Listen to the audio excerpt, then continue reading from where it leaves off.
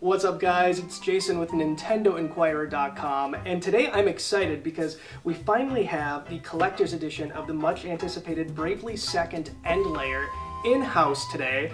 I have been waiting for this game for quite some time. I was a big fan of Bravely Default even though it got a little slow near the end, but I'm going to give it the benefit of the doubt.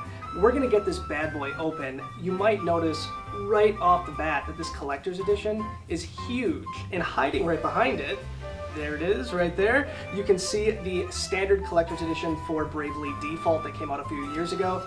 But look at the size difference between these two boxes. This thing is absolutely huge, and you're going to see why in just a few moments.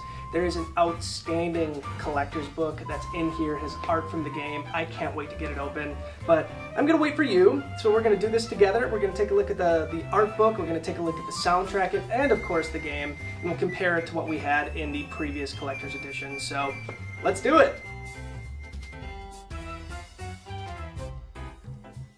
Alright, so as we can see already, this thing's a beast. So we're gonna get this thing open. I already cut the seal here at the top. And let's see what's inside. So here it is, the game itself, nothing too crazy, um, Bravely Second End Layer, and the CD. So this is the soundtrack to the game. Woo! There goes the game on the floor, that's fine. But here it is, the CD soundtrack. I'm gonna go and pick up the game, which I'm so good at handling. Um, I'm guessing that these two things aren't going to be of huge importance to most of you. The soundtrack is cool. I don't know if anybody listens to CDs anymore anyway, but Square Enix has always included some sort of soundtrack with their collector's edition, so it's one thing that they've been doing consistently. And I think this is what's going to get most people excited. This is the Bravely Second End Layer art book. It comes with, obviously, the collector's edition. The thing that kind of upset me a bit, it's not hardcover, it's a softcover book, um, it's still very cool, and it's very, very heavy. Um, I was actually surprised when the post office brought it by today, and the box was as heavy as it was. I was definitely anticipating a smaller art book, kind of like what they had included with the old collector's edition in Bravely Default. But let's get the cellophane off this bad boy. This thing is huge. It's mammoth, and the artwork is beautiful. Full page artwork from Bravely Seconds. Um, I'll give you guys a kind of a quick close-up of all of these pages. Not quite all, there's a lot.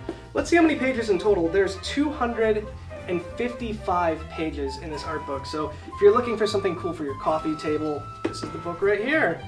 Um, it looks like there's a slip cover here. So this does come off. I'll hang on to that though. And there's really neat artwork from Bravely Second right here on the other uh, insert as well. So very neat art book. But like I said before, let's compare this to what we had with the Bravely Default Collector's Edition.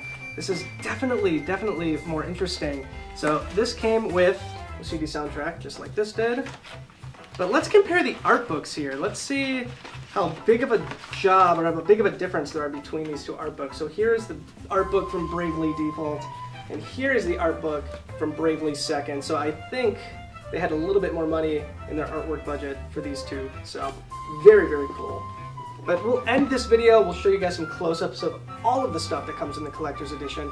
You can't get it anymore, it looks like it's sold out, but we're gonna keep an eye out. If for some reason it does come back in stock, we'll let you know on our Twitter page. So follow us there and we'll let you know if it comes back. That's it. Have a good one, guys.